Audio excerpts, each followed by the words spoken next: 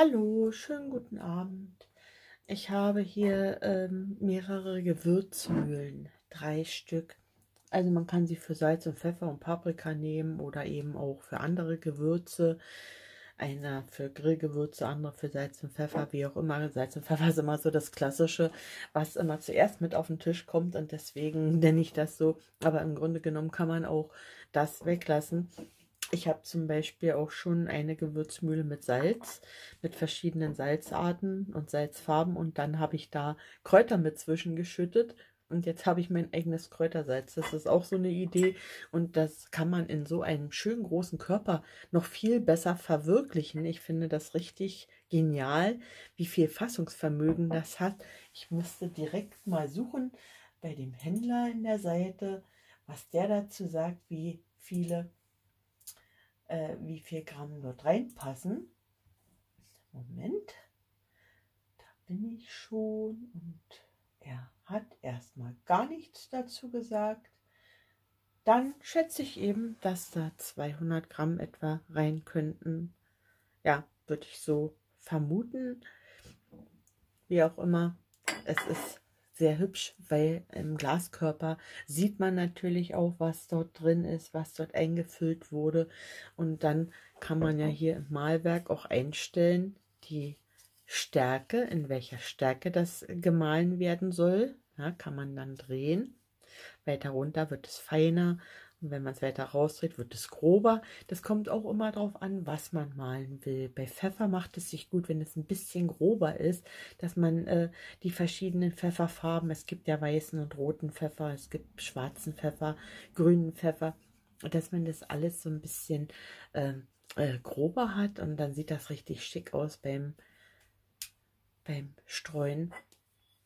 Überhaupt auf dem Tisch macht es einen ganz, ganz tollen Eindruck, wenn man solche äh, Körper dort zu stehen hat. Ich finde das sehr, sehr schön und empfehle das auch sehr gerne weiter. Ich habe ja meine drei schon sicher. Also wenn ihr jetzt zuschlagt und da äh, kauft, kauft mir keiner mehr was weg. Nein, war ein Spaß gewesen. Okay, gut. Aber wie gesagt, das sind so tolle Ideen, was man hier alles einfüllen kann. Und durch diese Körper kann man das so toll sehen. Das sieht richtig schick aus. Also ich liebe sowas total. Ich mische gerne Gewürze, äh, auch so für, für die Grillsaison. Da gibt es auch verschiedene Sachen, die man dann mischen kann. Gibt es eine ganze Menge Ideen. Und ich kann es einfach nur empfehlen. Oder Salz.